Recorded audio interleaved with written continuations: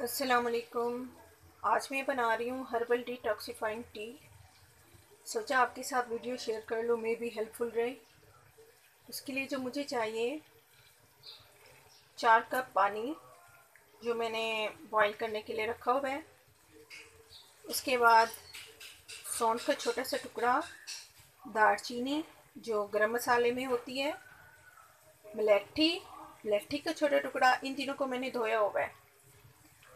और half lemon, एक tablespoon green tea इलायची छोटी सी और एक पिंच मैंने सूखा धनिया लिया है सौबित और एक पिंच लिया है मैंने सौंफ।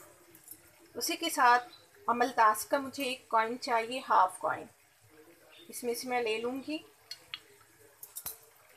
और जब पानी बॉईल हो जाए तो आपने ये सारी चीज़ें डालनी है, सिवाय लेमन और ग्रीन टी के। पानी हमारा बॉईल हो रहा है। जैसे बॉईल हो, ये सारी चीज़ें आपने डाल देनी है। और तब तक पकाना है, जब दो कप पानी रह जाए। ये अमलतास का मैंने एक कॉइन लिया है हाफ़ अगर छोटा है अमलतास की जो नली है, वो छोटी है तो एक कॉइन ले लें। अगर बड़ी है तो उसका हाफ़ कॉइन ले लें। सारी चीज़ें हमने डाल ली हैं सिवाय लेमन और ग्रीन टी के। ग्रीन टी हम एंड में डालेंगे और हाफ़ मिनट के लिए पकाएँगे। अच्छा पुदीना भी इसमें यूज़ होना है। अगर आपके पास फ्रेश पुदीना है तो उसकी चार से पाँच पत्तियाँ आप यूज़ करें। मेरे पास फ्रिज में पड़ा था पिछले दो दिन का। कुछ पत्तियाँ मैंने ली हैं, इसमें डाल दी हैं। अब इसको ढक दें। हाँ जी, तकरीबन दो ग्लास सॉरी दो कप पानी रह चुका है इसका। अब इसमें हम डालेंगे ग्रीन टी एक टेबल स्पून ग्रीन टी डालिए। अब हम इसको ढक देंगे और हाफ़ मिनट के लिए इसको कुक करेंगे। हाँ जी। ग्रीन टी हमने हर्बल टी कह सकते हैं या ग्रीन टी कहो। हर्बल टी हमने छान ली है।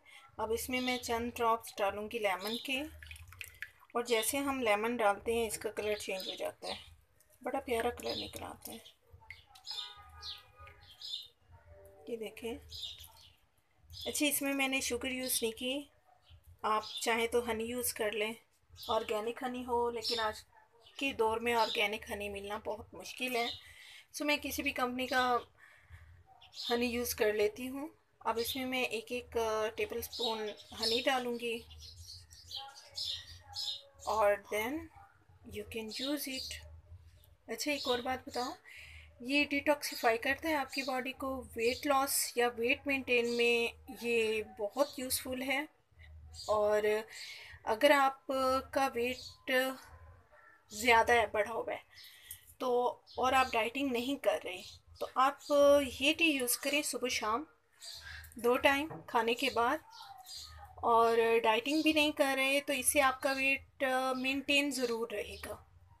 कम भी होगा और डाइटिंग अगर कर रहे हैं तो कम भी होगा इसके साथ, लेकिन मेंटेन ज़रूर रहेगा, ना तो बढ़ेगा, ना ही कम होगा। अगर ज़्यादा आपने इसका अच्छा रिज़ल्ट आप चाहते हैं तो दो टाइम यूज़ करें। ओके, होपफुली आपको पसंद आई होगी। ज़रूर ट्राई कीजिएगा, बड़ी अच्छी बनती है। मैं ख़ुद यूज़ करती हूँ। ओके थैंक यू आपको पसंद आए शेयर करें लाइक करें सब्सक्राइब करें। और कमेंट्स में बताएँ किस चीज़ की कमी रह गई। थैंक यू सो मच अल्लाह हाफिज़।